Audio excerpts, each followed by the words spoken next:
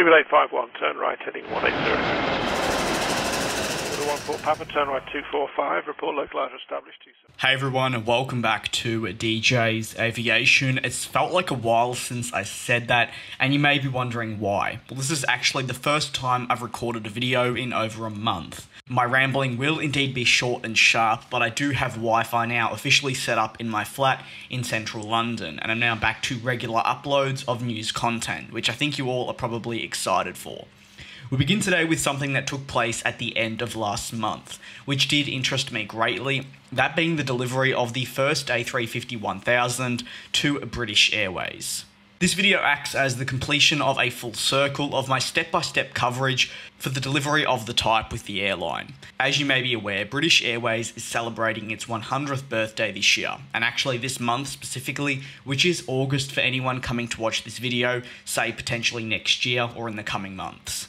With the arrival of the first of 18 A350 1000, it really is what many are calling a changing of the guard.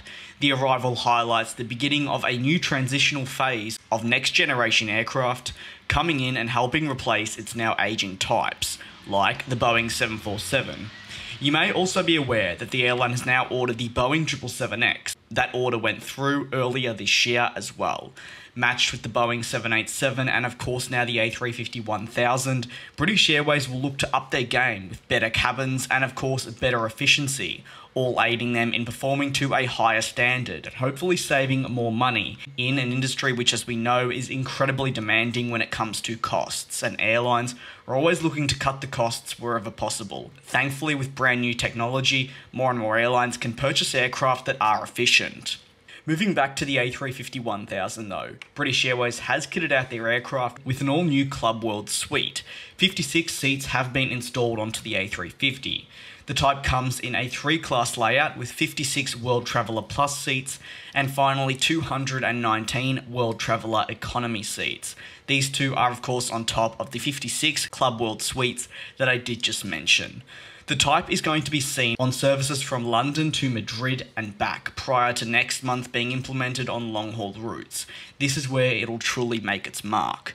The type is flying to Madrid purely for crew familiarization services and it offers aviation enthusiasts across Europe a great opportunity to fly short haul on the brand new aircraft.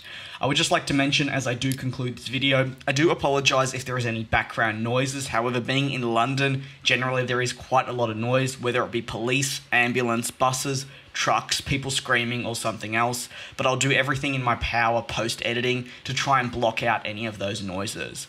With that being said, thank you very much for your patience over the past month. I know uploads probably weren't as good and maybe didn't interest you as much. I certainly noticed with the views going 90% down, but hopefully you do enjoy this new content and in the future you will continue to watch. With that being said, thanks very much and I do look forward to you all joining me in the next one.